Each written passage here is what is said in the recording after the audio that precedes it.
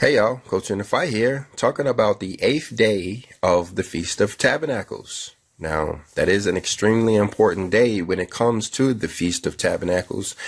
In this video, what we're going to be talking about is some specific verses related to the eighth day celebration. We're going to be looking in the book of Nehemiah, Second Chronicles, and First Kings as we talk about some of the events that happened on the eighth day. But before we jump over there and look at those Old Testament verses, I wanted to show you this one particularly out of the New Testament of the Bible, and that's over in First John and chapter 7, verse 37. This is talking about when the Messiah actually attended the Feast of Tabernacles you know, when you look back at the example that the Messiah left for us, he actually kept all of the feast days, including the post-exilic feast days like Hanukkah and Purim. So I'm not sure how they are forgetting about Matthew chapter 5 when the Messiah said he didn't come to do, do away with the law. He came to fulfill the law, meaning he was giving us an example of what it means to actually walk in the law. But anyway, let's look at John chapter 7, verse 37. It says, In the last day, that great day of the feast, Jesus stood and cried, saying, If any man thirst, let him come unto me and drink. Now, this is actually talking about the Feast of Tabernacles. You can see that if you go up further in the story, how the Messiah actually appeared to them in the middle of the uh, Feast of Tabernacles and started teaching those guys there. Um, well, here you have it at the end of the uh, Feast of Tabernacles, and he's going to give, you know, a few short words here. Let me let me read what it says. It says, "He that believeth on me." as the scripture has said, out of his belly shall flow rivers of living water. So this is, you know, the part of the story where he's talking about this, this living water. And, but you, the point is, is that this actually took place during the eighth day of the Feast of Tabernacles. And you see right there in verse uh, 37, it says, the last great day of the feast. You read about this and all of the statutes over there in the book of Leviticus and chapter 23, right there in verse 39, at the end of verse 39, you see how it's talking about the eighth day and how it shall be a Sabbath day. It is a seven day feast um, the Feast of Tabernacles is just more importance. I shouldn't say more importance, but there's significant importance placed on the eighth day. So let's jump over here and let's look in the book of Nehemiah in chapter 8. This is um, verse 17 is one of the verses that talks about uh, the events that took place during the eighth day of the uh, Feast of Tabernacles. Now, just to give you a little background on what's going on here, um, it was during this time, if you read up in, in, in this earlier in this chapter and even in the previous chapter, you'll see that the people had found the law of the Lord. It's like the children of Israel, you know, they were in Jerusalem. I guess they were doing their own thing. And then, you know, somebody went and searched through the temple and found the law found that covenant that was given to Moses on Mount Horeb. We can read about that covenant in Exodus chapter 20 through 24 verse 7. But if you remember the history of, of Israel, one of the things you hear about, you know, those guys and what they went through is how they would always have a period of blessing where things were going really, really well for them. And then things would turn south and they would get enslaved. They would get persecuted and bad things would happen. Well, what was actually going on there was their obedience to the covenant, their obedience to that contract that we have on us that, you know, is made between our spirit man and our heavenly father. Well, when things would be bad for them was when they was actually separated from the law, the kings and the priests, and nobody was actually paying attention to the statutes and commandments and stuff that they were supposed to be doing. And of course, you know, the way it works is when we step away from those commandments, it actually creates sin in our life. Remember the definition given to us in the New Testament is that sin is actually the transgression of the law. So when we start breaking those commandments and those statutes, we enter a, enter a sin state. And when we're in sin, what that does is kind of blocks out our conscious and makes it to where we can't hear our conscious. Well, what we learn here now is that our that voice that we're hearing from our conscience is actually the voice of our Father. It is Him who is talking to us by way of our conscience. That's like the communication point between He and us. That's how, of course, we use our, our thoughts or whatever to pray. But when He wants to talk back to us, He uses our conscience. Well, when we commit sin, we quieten down or shut down that consciousness as if we're throwing a wet blanket on it, kind of smother it out. And so that's what was happening to those guys when they would lose focus on the commandments. They would actually lose the voice of God. They would lose their guidance. And then, of course, Satan would be allowed to have his way with them and he would drive them into persecutions and drive them into slavery, drive them into slaughterings and all kinds of bad stuff would happen to those people. So here we are up in Nehemiah. Now, of course, Nehemiah along with Ezra were two of the key players when it comes to uh, building the second temple. That temple that was st- destroyed by Nebuchadnezzar. You read over there in uh, like Second Kings chapter 25, how he went in and pillaged and, you know, took all of the gold and silver out and, of Jerusalem and, you know, took it into Babylon or whatever. But here, this is the time after King Cyrus and Artaxerxes and King King Darius, who all made decrees in order to rebuild the temple. Well, here you have during the time when they actually started constructing that second temple and they have found the law and are starting to dedicate that second temple and they're doing so by way of you know some of the things that they've read about in the law. Now this is all important for us. This is actually extremely important stuff when you think that the same thing is actually going on by way of the third temple. This third temple that is supposed to be built on the hearts of humanity is now in a construction state. It's being built now and a lot of what you seeing on seeing going on in the world, you know, with people reporting um, um, uh, great awakening type stuff. You know, there's a lot of people talking about intuition, all of these dreams that people are having. That's another way that our Father speaks to us. He speaks to us through intuition, through dreams, and through the conscious. Well, you see all of it. You see a great increase in this stuff, you know, taking place now, even before, you know, all of humanity goes through this great awakening. It is because people are finding the law. They're becoming obedient to those commandments, those statutes and those judgments that you read about over there in um, Exodus chapter 20 through 24, verse 7. This video is brought to you by the Celestial Clock Calendar, the official timepiece of the 144,000.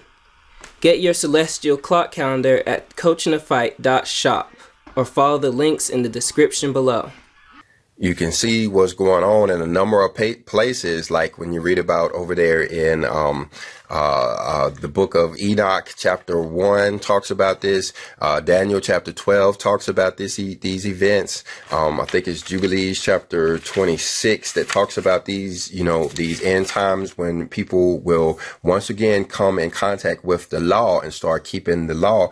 But for the people who are now embracing the law and making it a part of their life, you're starting to see a lot. What what is what is one of the definitions of the word rapture? It says a mystical experience in which the spirit is exalted to a knowledge of divine things. Well, you know, that's a lot what's taking place. And you see that over there in the book of um, Nehemiah in chapter 8. Let's jump back over there and look at that right quick. All of the congregation of them that were come again out of the captivity made booths and sat under the booths. For since the days of Jeshua the son of Nun unto that day had not the children of Israel done so. And there was very great gladness. See, like I said, these people are are are just now starting to keep the law again, and that's where we're at now. Um, you know, we've been in the church age. You know, the church age started back there in the year 312 with uh, the Emperor Constantine. So many of our father's people, at least those whose names is written in the book of life, are now finding these laws and are now embracing these laws and are now using these laws to, you know, uh, create what we know as the third temple. This third temple being dedicated on our hearts and our conscience. Um, of course, it, it has to go through these feast days. You look over there in Isaiah chapter 58 Verse 12 says, And they that shall be of thee shall build the old waste places. Thou shalt raise up the foundations of many generations, and thou shalt be called the repairers of the breach, the restorers of the paths to dwell in. This is, you know, one of the main things that we do on our channel. Um, we are the repairers of the breach. This breach is formed when we lost these feast days and don't know about keeping these feast days. This, like we talked about earlier, is creating sin and it is creating separation between us and the Father. Praise Him and His infinite wisdom that He gave us 10 years to correct this stuff. And that's the period that we're in now it says um, that we will be called, or our children will be called, the restorers of the paths to dwell in. And these these uh, these paths to dwell in, they go through Leviticus 23. There's no way we're going to get back in touch with our Father unless we start to keep these feast days. Even those people who teach the doctrine of liberty, and you know, they talk about how they're going to return uh, um, to Earth one day. Well, um, what they're talking about is actually reincarnation. They're actually going to be born again as the children of those who survive the tribulation. And when they get back, guess what? They're going to keep the feast days. It is absolutely necessary. They may be in the doctrine of liberty now, you know, just, you know, counting on the day that they, you know, are removed from the planet or whatever. But, you know, even when they get back, these feast days are going to be waiting for them. Well, let's look at verse 18. It says, Also day by day, from the first day unto the last day, he read in the book of the law and they kept the feast seven days. And on the eighth day was a solemn assembly according to the manner. Now, this is important to understand. During the Feast of Tabernacles, like we have established already, this is a temple building feast. It is all about our temple. When it, when it's talking about tabernacles, the word tabernacle means tent. And just like the Father had Moses to build him a tent that he could keep the mercy seat and the Holy of Holies in um, well, uh, the tent of today for this third temple is actually going to be our flesh. Our flesh is the tabernacle.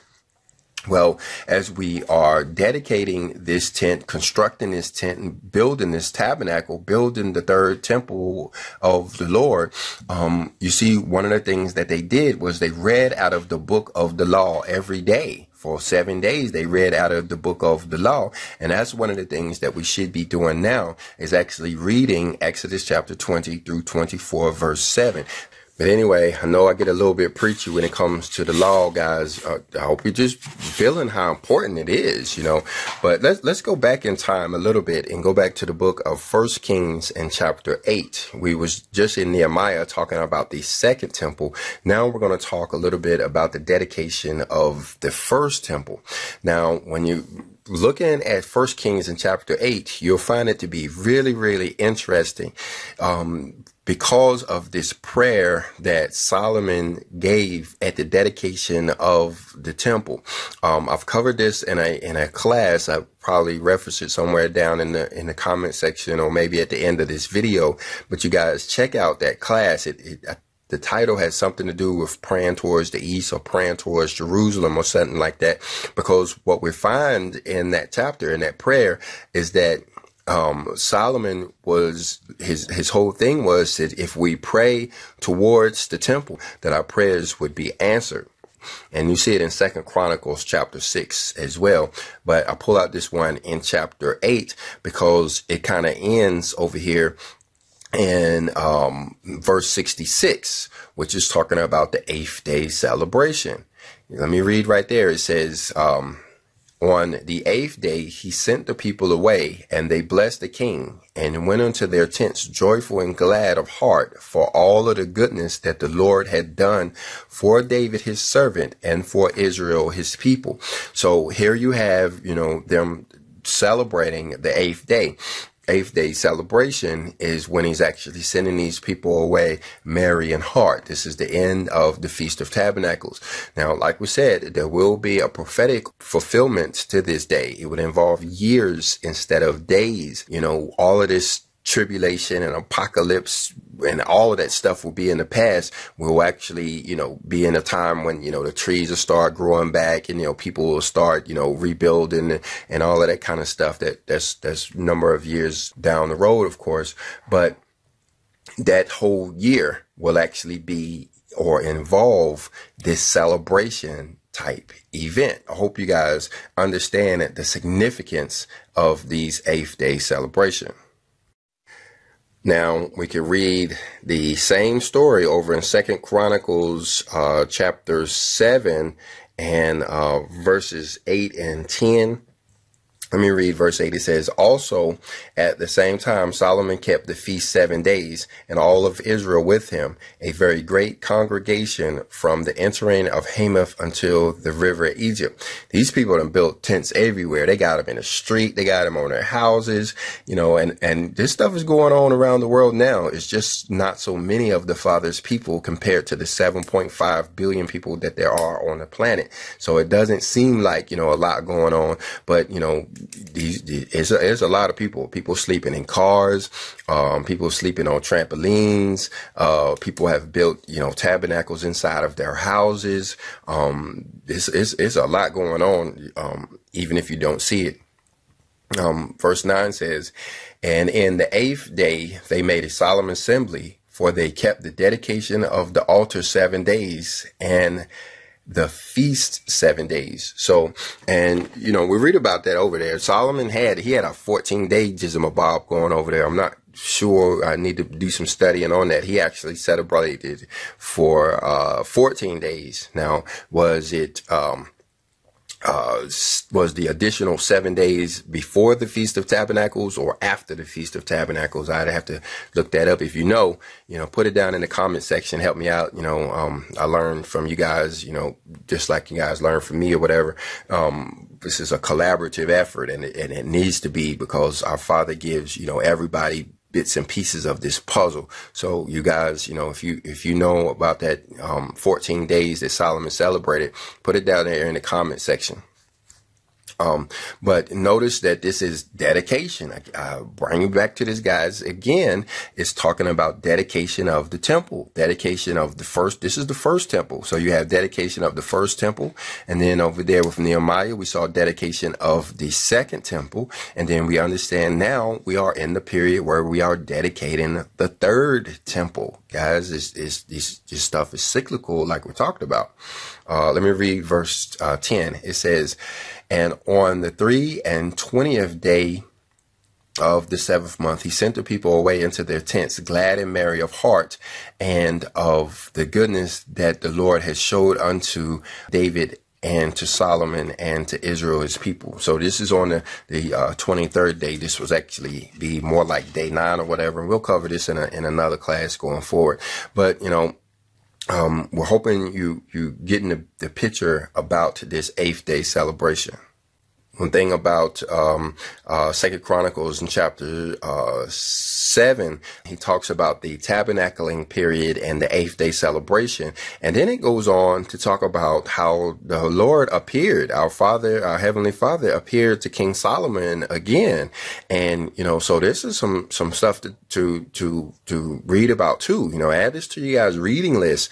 You know, after this video, go go uh, listen to it or read it. Um, uh, chapter uh, seven of Second Chronicles and chapter eight of First Kings. You know, it's a lot of important stuff going on in these chapters, guys. You know, with these prayers and these visitations um, and such. So you know, add those to your reading list. But of course, remember that Exodus chapter twenty through twenty four, verse seven, is on your reading list as well. I know we covered a lot in this video, but you know, praise the Lord, our Father is increasing the knowledge, you know, on, you know, He's giving us a lot of stuff to talk about, you know, and, you know, I, I know I'm not special at all. I know He's not giving me, you know, this knowledge just for me to sit around and, you know, act like I'm smart or whatever. If He's giving it to me, you know, same way if He used to give me wealth or whatever, it would be to share with others but I hope you guys are getting the importance of this tabernacling, this third temple, this law, and awe of this stuff and how it all relates to one another. Um, this is some very important times that we are in now.